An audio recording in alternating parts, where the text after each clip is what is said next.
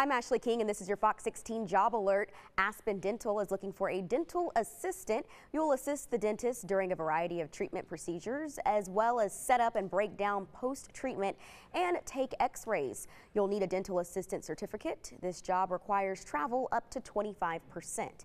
The state of Arkansas wants to hire a deputy prosecuting attorney. This position is with the 17th Judicial District. It pays a little more than $62,000 per year. You must be licensed to practice law in the state of Arkansas.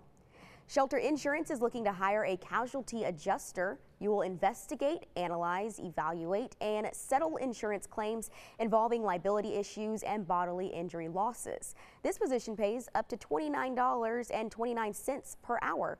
A minimum of two years general business experience is preferred in an insurance setting.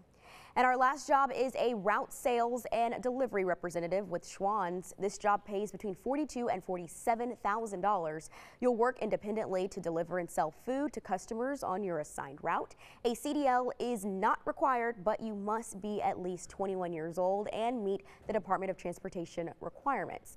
Uh, for more information on these jobs, how to apply, and to see other available listings, head on over to fox16.com, click on the community tab at the top of the page, and click on job alert. Now, if you have a job that you would like me to feature, email me at jobalert at fox16.com. I'm Ashlei King, and I'll see you tomorrow morning on Good Day Arkansas at 7.